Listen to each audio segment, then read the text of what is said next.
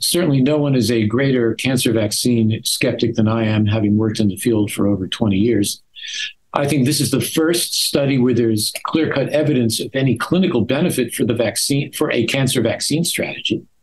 The first evidence that a neoantigen strategy would provide benefit for patients.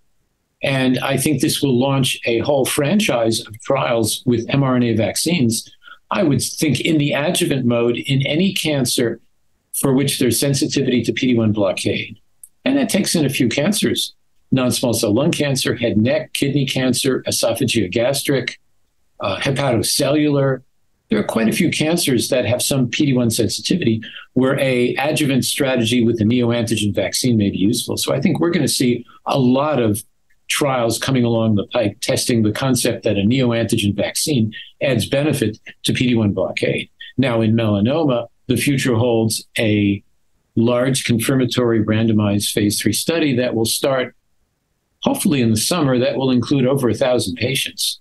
And that study will fill up very quickly and hopefully within the next few years provide the information necessary to see the first approval for an effective cancer vaccine.